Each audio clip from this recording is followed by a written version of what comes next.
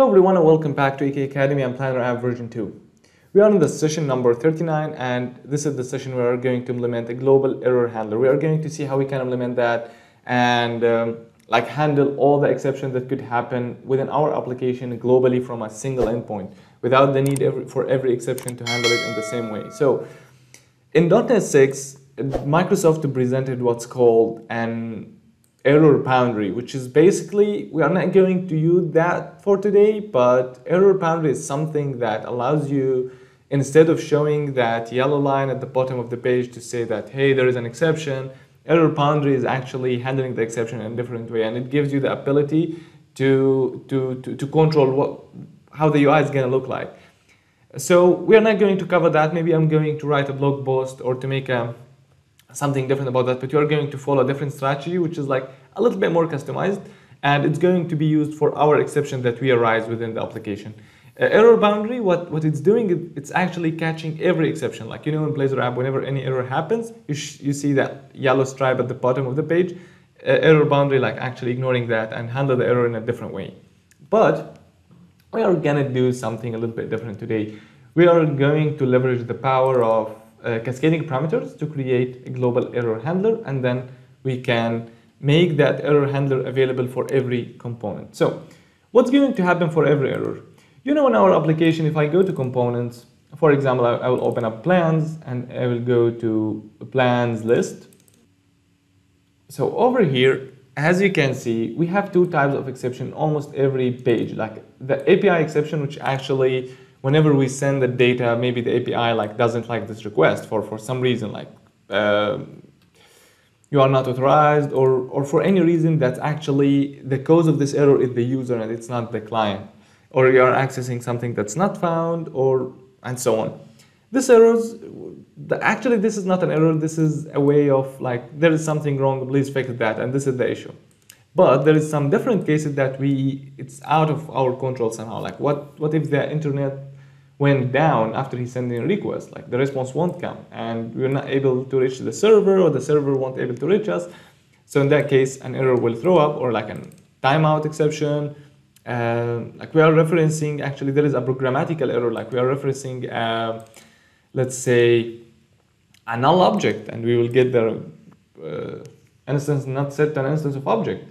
And many kind of exceptions that could throw within our journey that actually we have to catch that properly. And what we are doing right now, every place we say log this error.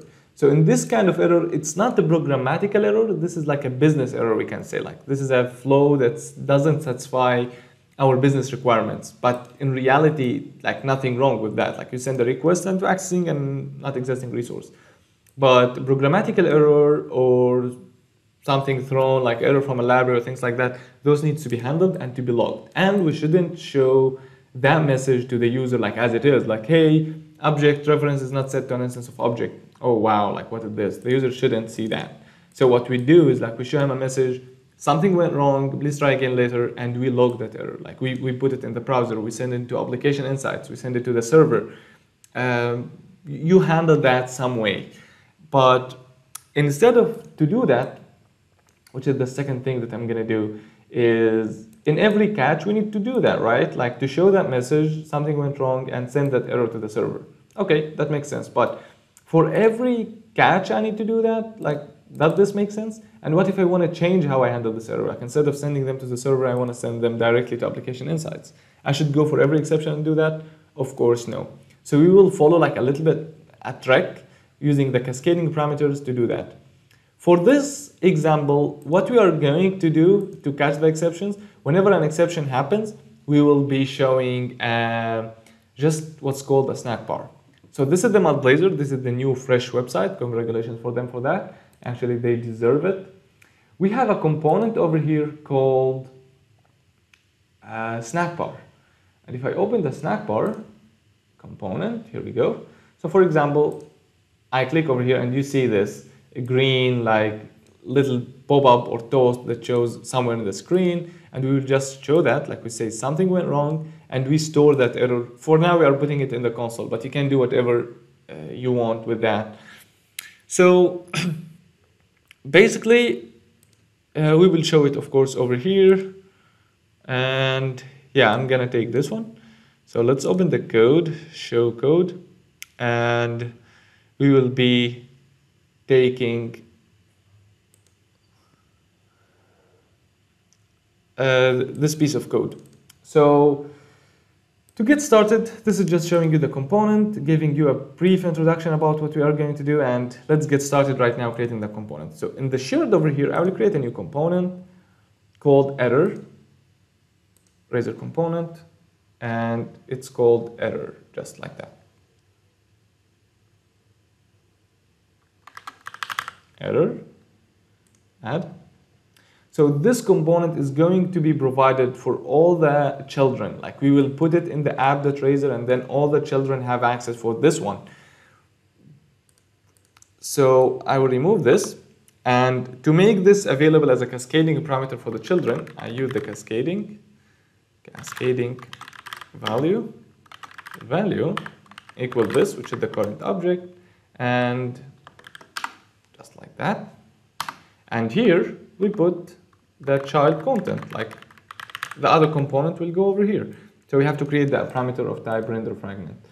I will create the code behind file. Okay, that's cool. And from over here, I will create a parameter. Public render fragment, child content. Okay, so this will be filled with the content of other components. Now what we need is actually to create that error handler that will be available to all the children from this object. So I will call public void handle error and it's taking exception ex as a parameter. So this is all what we need. So now this is the single entry or the single method that's going to handle all the exception that's available for us throughout the system. So here we can do uh, whatever we want. So we want to show a fragment, uh, sorry, a snack bar with, the, with that red and say something went wrong and we will log that exception with all details for now in the console. But as I've said, you can do whatever you want with it. So to show a snack bar, we should inject public i snack bar, snack bar like that. So let's show that snack bar actually, snack bar. Let's go to MudBlazor and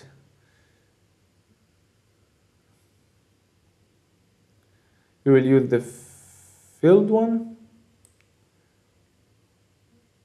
snack bar dot configuration configuration of variant equals variant dot filled, which gives us like this pure green uh, one. No, like this is the filled one. Yeah, we will use this, and we will use this error one. So what you're gonna do is say snackbar dot add something went wrong. Please try again later. And then the severity is dot error. yeah, like that. And right now we are going to log the error. For now we are just going to show it in the console. ex dot message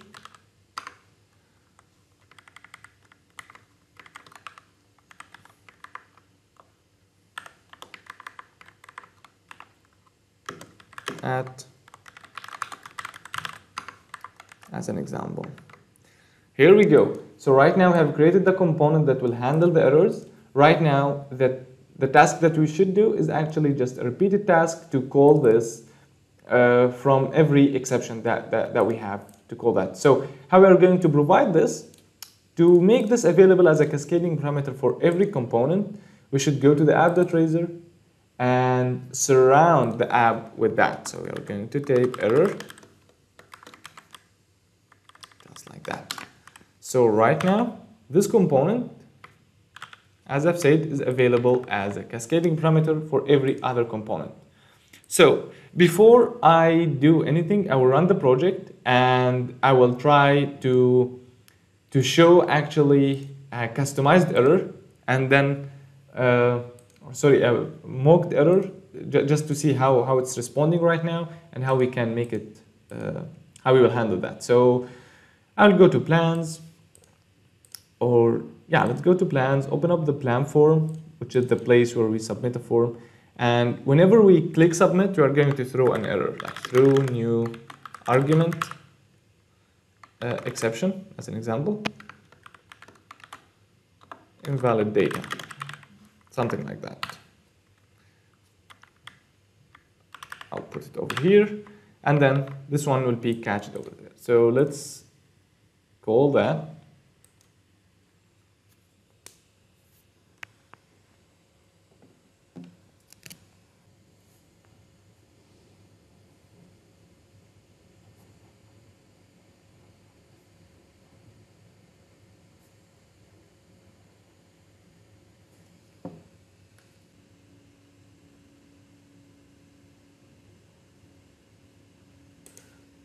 Here we go. I will go to the add plan. And here we go. So right now, if I try to click save, okay, I have to fill the data first. Some title, description, some description. And we will click save. And I will get invalid data. Like this is this is an exception that's that's a custom exception. So if I put it outside the try, I'm gonna see this uh, yellow bar over here. But I wanna handle all of this type of data in a different way. And the message that will be shown here is something coming from the server that says this plan already exists or it's not found or things like that, like things that makes more sense. So how I'm gonna make this available for, in my case, I will over here add a cascading parameter, cascading parameter, public error, error, just like that. And over here, instead of doing this, I'll get rid of this and say error dot handle and pass the exception for it. So basically this is it. I have this function. This is available for all the components as a cascading parameter. And yeah, like I can handle all of this stuff. And I also have fetch plan by ID. Let's add that over here as well. For every play that you see an exception,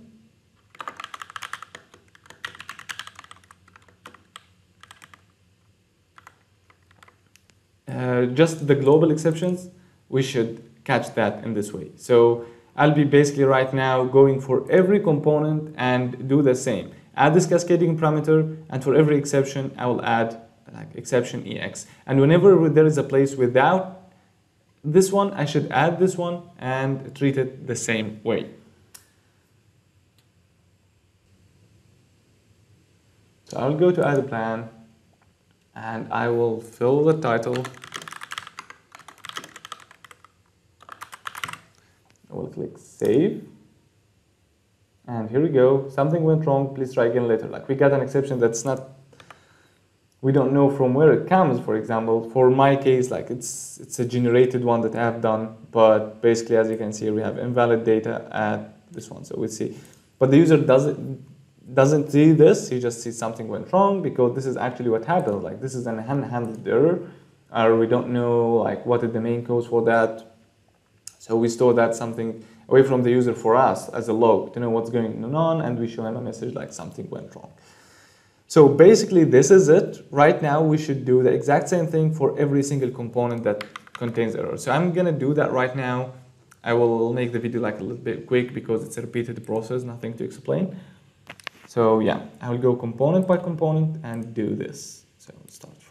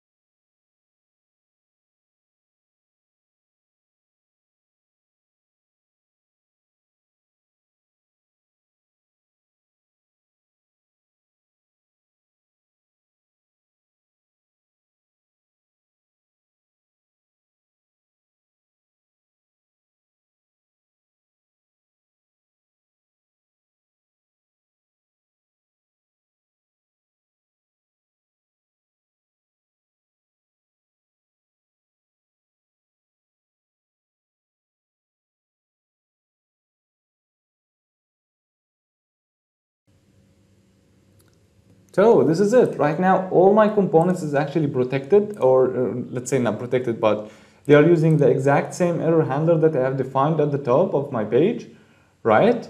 And uh, this is what we mean by handling all the errors from a single endpoint or like a global error handler that's actually fetching all the pages. We are going to make a, like a sh very short video at the end, which is like talking about the error boundaries and how we can leverage that power for us using uh, this amazing technology that will handle any error, even if it's not within a try catch. Like this one is just handling the error that within a try catch, but that one will catch any error across the application that happens and gives us the flexibility to show a custom page in the way that we want. Like it's a very powerful new components available. We should leverage that power. So this is everything for the video. Uh, right now, we cannot simulate an error actually to set that page, but uh, after I Uh, did that little exception that you have seen in the form. like you can imagine any other exception that could happen. As I've said, no internet, server is totally down, like it's, it's not reachable, so it's not retrieving a meaningful error, just retrieving 500 or it's for some reason, then all of that would show something went wrong and then we store that reason behind the scenes in the console. As I've said, you can send it to the server or do whatever you want. So this is everything. For the next session, we are going to see or to talk about globalizations and some another cool topics. So thanks for watching and see you in the next one.